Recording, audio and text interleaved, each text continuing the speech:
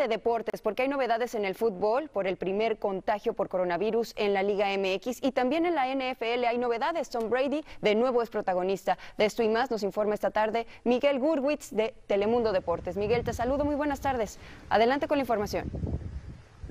Saludos, buenas tardes. Vamos con la información eh, deportiva y arrancamos con eh, ya este caso confirmado de coronavirus en el fútbol mexicano. Se trata del presidente del Atlético San Luis, Alberto Marrero, quien estuvo en Madrid hace algunos días y a su regreso se hizo esta prueba y dio positivo. Hay que recordar que el Atlético de Madrid es el dueño, es el propietario original del Club Mexicano Atlético de San Luis y el presidente del equipo del Atlético de San Luis ha dado positivo por coronavirus. De hecho, ya hay dos reportes de jugadores con algunos síntomas, sin confirmarse que tengan este padecimiento, el coronavirus, pero ya hay dos jugadores que manifestaron algunos síntomas. Siguiendo con esta información, solo que del otro lado del mundo, en Italia, increíblemente, el Napoli, el conjunto de fútbol, el Nápoles, ha sido citado para volver a los entrenamientos el 23 de marzo. Italia, uno de los países que más ha azotado este coronavirus, en donde hay una cuarentena general. Ya el equipo ha sido citado para entrenar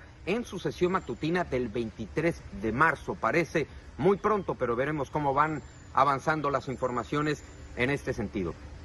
Y vamos a terminar con la noticia que sacudió ayer a la NFL. De hecho, fueron dos. La primera, la partida, el anuncio a través de sus redes sociales de Tom Brady por dejar a los Patriotas de Nueva Inglaterra. Horas después se confirmaba su llegada a los Bucaneros de Tampa Bay por 30 millones de dólares por temporada. Será muy interesante ver a Tom Brady chocar en un par de ocasiones con Drew Brees y los Santos de Nueva, de Nueva Orleans, porque hay que recordar que comparten división.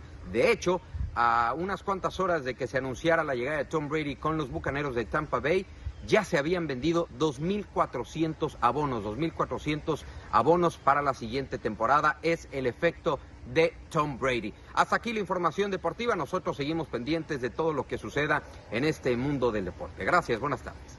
Mucha atención, Estados Unidos entrará en estado de emergencia nacional por el coronavirus. De esta manera lo anunciará el presidente Donald Trump debido a su expansión.